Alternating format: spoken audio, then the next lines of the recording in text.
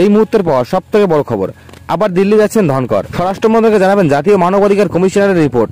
পশ্চিমবঙ্গে ভোট পড়তে হিংসা চালাচ্ছে তৃণমূল কংগ্রেস। এই সূত্রে দিল্লি যাচ্ছেন ধনকর। পশ্চিমবঙ্গের মাটিতে অবশেষে সব জল্পনা অবসান ঘটিয়ে এবার রাষ্ট্রপতি শাসন জারি হতে চলেছে। তো বিস্তারিত জানতে ভিডিওটি শুরু থেকে শেষ অবধি দেখুন। আর চ্যানেলে নতুন চ্যানেলটি অবশ্যই সাবস্ক্রাইব করুন। ভবিষ্যতের লেটেস্ট ট্রেন্ডিং খবরটি সবার আগে দেখার জন্য। জাতীয় মানবাধিকার কমিশনার একটি তদন্তকারী দল পশ্চিমবঙ্গের মাটিতে এসেছে।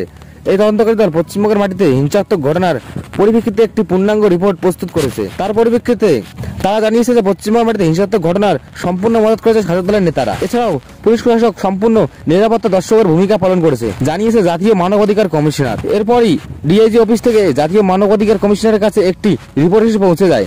ফলে রীতিমতো সম্মানহানি হয়েছে রাজ্য পুলিশ। ইতিমধ্যে কলকাতা হাইকোর্টে দায়ের করা হয়েছে একটি জনস্বার্থক মামলা। পশ্চিমবঙ্গে হিংসাত্মক ঘটনার পরিপ্রেক্ষিতে রাজ্যের মাটিতে রাষ্ট্রপতি জারি করার আবেদন জমা পড়ে গিয়েছে কলকাতা হাইকোর্টে। যদিও শাসক দল রাজ্যের মাটিতে এই হিংসাত্মক ঘটনার বিষয়টি সম্পূর্ণ অস্বীকার করে এসেছে। কিন্তু এবার ডিআইজি রিপোর্ট রাজ্যের প্রশাসনকে যথেষ্ট অস্বস্তিকর পরিস্থিতির মধ্যে ফেলে দিয়েছে।